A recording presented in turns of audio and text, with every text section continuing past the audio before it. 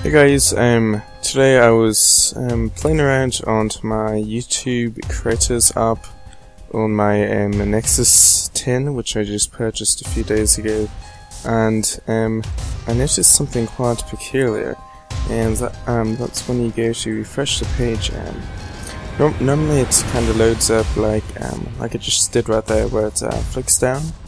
Um, but I want to load it or, uh, ref refresh it today and um, it kind of did something funky, so I'm going to show you that real quick.